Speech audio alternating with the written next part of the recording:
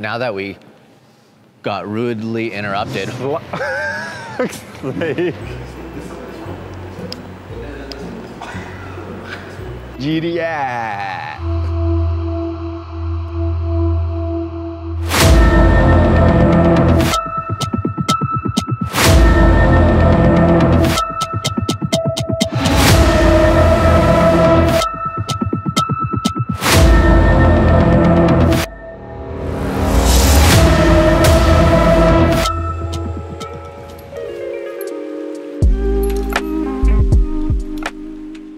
The Nissan Zama Heritage Collection is where all the most significant production Nissans and race cars live in perfect condition. I've been to the collection before, but this time I met up with my good friend Kyza, who builds incredible cars in the digital world. We talk a little bit about his inspirations, including many of the Nissans on the show floor that inspire him to build even crazier cars. It's uh, pretty appropriate for you to come matching one of the cars here. Almost. Look. See, look. look at this. Hold on. Your vest is the same color as the bonnet. Yeah. And then you have the rest of the livery here. Yeah. Perfect. I, I didn't plan it. And your shoes too. So I could tell this is your favorite car then. Yeah. It's between this and the Silvia as well, um, to be honest, just because the super silhouette era of cars for me has just been pivotal in the creation of my artwork. The inspiration, the It's- outlandishness, but the functionality of it. It's cool because I've been following your work for so many years, and to see different elements of the race cars that are here on your creations is something else. It really is cool. Thank you. So then tell me about what you like here because this is your first time here. This is your It first is. time in Japan, Yeah. which is mind blowing because you design all sorts of cars, but it seems like the JDM cars that you design really stand out to me. Thank you. JDM cars for me, it's the heart of everything automotive. It's where I first saw cars being modified. It's where I first saw this kind of culture of personalizing your car to yourself. But that's just one aspect of it. You have then the motorsport side, your super silhouette cars, your Japanese touring cars, GT300, GT500s. I drew a lot of inspiration, mainly thanks to games like Gran Turismo. Um, You know, from your Pennzoil R34s to the R33s, the Group A cars as well, the R32s. Like seeing these cars here and seeing an OEM car come stock with fender flares on, it's insane. It's something as simple as just being a 240Z or maybe the Kenmeri, you know, like seeing them in that form, you're like, okay, so you're not just sticking on a fender to a car for no reason whatsoever. There is history behind it, there's heritage behind it. And then you go from something as simple as that to something as wild as this. I can't imagine this had wind tunnel testing. And I'm just guessing, you know. This is legitimately a box Yeah. with some aero bits on It it. is. We're on these cars here because we're close to them, but in terms of design aspects, it's small details as well. So, like, kind of the fins on the hood, which then extend to the windscreen. And then you have fins on the windscreen to obviously help channel air over. I mean, I'd, I'd love to see the actual functionality of that, but it's the fact that that exists and then the combination of the stance of the car, the height, the fact it raced at this kind of level, the wheel choice, everything just ties together. And then the livery design, like a lightning bolt. It is something else. I love this era of cars, but the cars that really speak to me are the 90s era cars. Yes. The cars that I actually Yeah. had a chance to see when I was growing up, or just the cars that I had a chance to see in Gran Turismo, in Best Motoring, in magazines. Yeah. That seems to be really the theme coming here in Japan. It's meeting your heroes. It really is.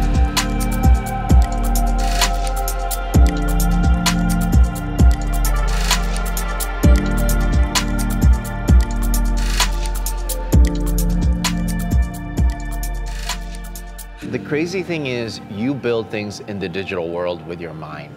One of the things I always like to talk about when I'm talking about your work is the fact that it's honestly not fair for somebody like me because Yeah. I have to photograph cars that actually exist in the physical world. You, do.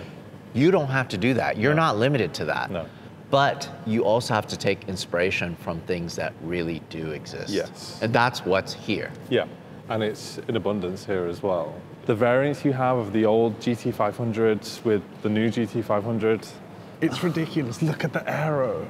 And this is a later generation where Yeah. function was actually something that was backed by computer 3D modeling or wind tunnel testing. That is that right there. Out of this collection, I have a favorite Group C, which is the R92CP. From a visual perspective, it was always just very instantly recognizable. But this, alongside the 787B, for me, mm-hmm. was like dream stuff. But then I love being able to see the progression. You know, like you notice as they progress, the splitters have gradually grown. The canards they've introduced have gradually grown. Like this came from an era where it seemed like anything was possible. The 3.5 liter twin turbo V8 from this era was the precursor to a lot of the McLaren V8 3.5 liter turbo motors. I didn't know that. And then you speak about the R390s, the GT1 car. It's know? a peculiar design. I think it works better in race form, but I feel like they had to make a road going homologated version in order to make that. I'm glad that they did it in this color. I think it looks great. I love the fact that it uses Z32 headlights because like you have the Lamborghini Diablo that uses Z32 headlights as well as this and of course the Z32. Oh, where do they start? Run.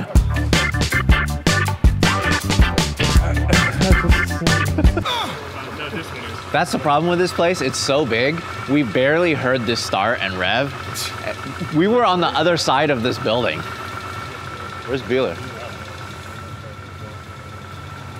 This is it. This is it. dude. Let it, let it burn. I was like, wait a minute, I don't need to run, I'll just walk normally. There sprinting. yeah, pretty much. Try to. You're all on mic. man. I am, I am. All on careful. mic. Just- Larry had to run and I didn't. it's the kind of content I'm here for.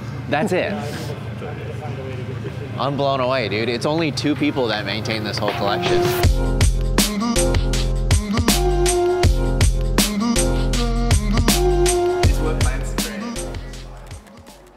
So this is your first time in Japan. What do you think about Japan in general? I've only been here two days and I'm obsessed with everything, down to just road markings on the floor.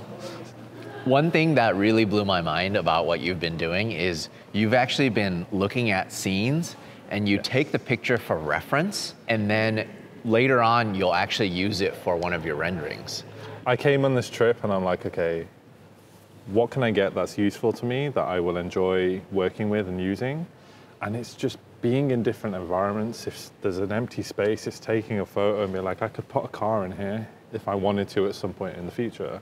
But it's also just the architecture in general around Japan, the side streets, alleyways, empty car spots, to textures on buildings and like everything can be used. It's how my brain is kind of wired. It's like, what kind of space can I use to place a car here? Do I need to stand over there or do I need to stand over there? Or It's funny because the way that I think is completely different in that I look at the space and I think about the physical aspect of it. Like, oh, could I hit up Nissan or Toyota or whatever to borrow a cool car to Yes. put here to Yeah. actually take the photo? yeah. You just take it beyond. But it's like you do it with a purpose, right? You do it when you're shooting a car. And it's the same for me if it's a car that doesn't exist. Like you look at this spot here, for example, in front of the R32 GTR, I'm like, there's a clear spot there. What if you wanted to position just a stock version there? Or it's just trying to think above and beyond, see different variations, like what you could do. If I was able to ring this on and be like, hey, can I have your GTR LM at Tatsumi PA by this time, you know, that would be insanely cool and I would love to do that. But sometimes that's not possible and you have to think of ways to kind of recreate what you want to recreate. It might be best done on a PC or computer, but it doesn't replace coming to a place like this, seeing these cars in person. Uh, You're I- speechless. yeah, I'm still. We've been here what two hours almost, and I'm still speechless.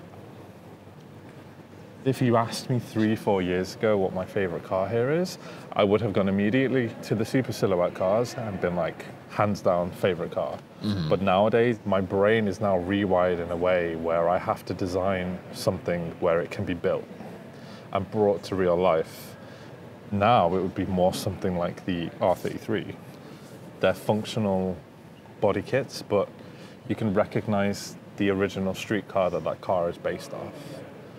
And I get so many ideas as well. Like for the new cars I'm creating kits for or designs for, I look at the old kind of the Ken Mary race cars or even the rally car liveries, and I'm like, that would look amazing on this new Z in stock form. You know, like it's just trying to imagine the things that don't exist, and that's what I really enjoy doing on an artistic kind of level.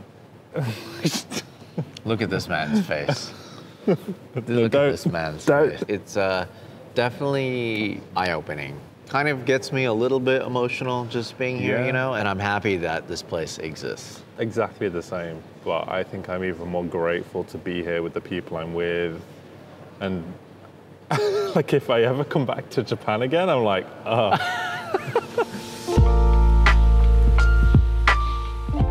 Nissan is so proud of their heritage when it comes to their street cars and their race cars.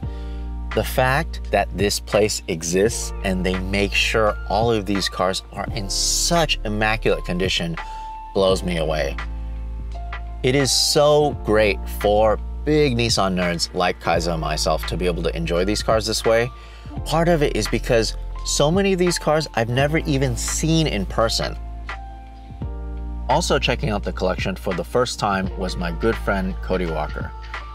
Cody has really taken it upon himself to continue his brother's incredible legacy through Reach Out Worldwide, which was started by Paul in 2010, which helps with relief in disaster struck areas all around the world. Cody also runs large car culture events called Fuel Fest, with proceeds going straight into Reach Out Worldwide. So this is your first time here. Yeah, dude, I've never been in here before. Have you seen pictures? Have you like seen a couple videos? I knew of this place, but I haven't seen any footage. Pictures don't really do it justice. You have to see it to believe it. What really gets me is the ordinary pedestrian cars that you didn't think that they would need to save.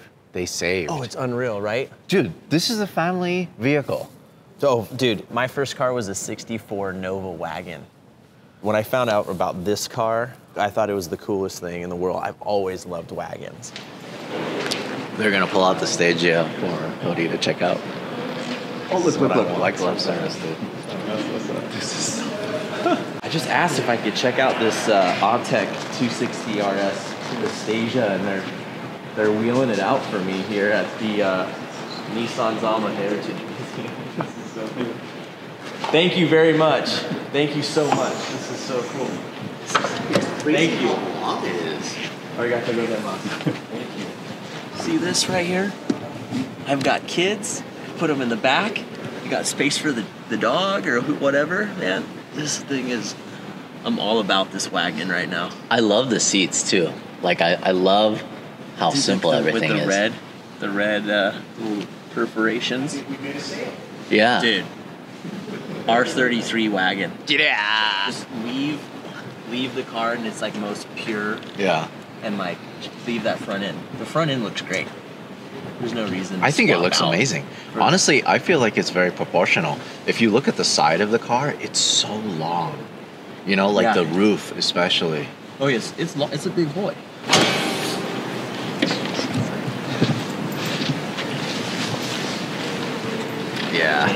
Yeah. Yeah. Yeah. You know, it's funny because um, this is such a pedestrian car for everyone else here in Japan. For sure. But we're like, we're all like, oh my god! Yeah. so, Jonathan, if you convince Nissan to make this now, um, then you got a, a couple sales right here, dude. You got it. I don't know what you. You guys are funny. You're gonna question later. Dude, this thing is so cool. Love this. So my first car was a Volvo 740 GLE that my parents handed me down. It was horrible. It barely ran, no AC. It would sometimes stall on left turns. It was bad. But the first car that I actually saved my money up for was this Nissan Maxima. I bought this when I got my license, and it was a 1994 that I had, five speed V6 with LSD. I felt like hot shit driving this around, dude. It was so sick. It makes me happy to know that something like this exists. Like, I don't know how it is with a lot of other manufacturers, but the fact that Nissan appreciates their heritage Right. and appreciates like the racing side. Yeah. And I get saving the Stagea, I get saving the There's- NUR spec GTR. Yeah. You know, especially the race cars. But then you see some of these cars, like this Laurel. While this is cool and I would drive it every day, They made a spot for it, and it's here. Yeah, The yeah. foresight that somebody had to do all of that, right? this is pretty much one of my favorite rows here. This tripped me out. S15 Varietta Convertible. convertible, Yeah. only sold in Japan, very rare. Yeah. We, when we walked in, someone's like, yo, convertible. like, This only came in naturally aspirated, and this was actually the first right-hand drive car I've ever driven. A blue one like this. I drove. Oh, no way. Yeah, I drove it in Norway, and it was just so weird to to feel right-hand drive, and also on top of that, I've never driven a S15 before. and it know. was the convertible? yeah, it was the convertible. That's even more weird. Yeah. Why It's would just- you want a convertible in Norway? I don't, I don't know. It's just cool to see a pristine version here. And look at this S14. Right hand drive. I don't think I've ever seen a brand new one or a clean one like this. In the US, you know, they just get destroyed. Well, they get so- clapped out and they're just. They've all been turned into drift cars. This and this S chassis right here, this S13. Look at the original wheels. It's so 90s. It's so 90s. the one that really speaks to me is this green one. Why is that? I love the two tone, like the gray on the bottom. Yeah, yeah. I think it looks so cool. Wow, 135 horsepower, naturally aspirated, 1.8 liter CA18 thing DE. is cherry, too. Look at that. It's so cool. It's fun for me walking around with you uh, because people appreciate the fact that you are a true car enthusiast through and through. You're doing your thing with Fuel Fest, and it's just so cool to see. We've had a chance to go to a couple of them. Hopefully, we can go to a lot more because there's just so many stories to tell. Like you said, I want to see the JDM Hummers. That's what I want to see. I want to see like the very detailed and very interesting car culture that we don't normally get to see. If you're in Japan or if you're planning a trip out there, it's definitely worth reaching out to the Zama collection to see if you can schedule a tour. I advise you to reach out to them months in advance because they are super busy. Thank you. I'm always. This way, this way, this way, this way.